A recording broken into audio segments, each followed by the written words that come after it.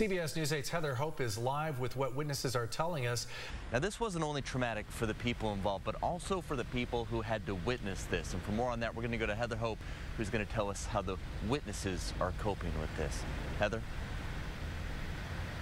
Dominic, you saw how the victims are recovering and coping after yesterday's deadly shooting. But like you said, witnesses are still dealing with the trauma of the aftermath.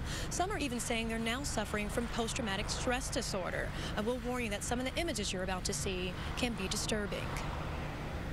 Because I thought for sure some people were like dead you know, because there was a lot of blood. I've never, act it was like a movie. Scared motionless of a resident at her apartment complex shooting several people sitting in a pool chair. Sarah Moffred is stunned. The UCSD senior is unsettled.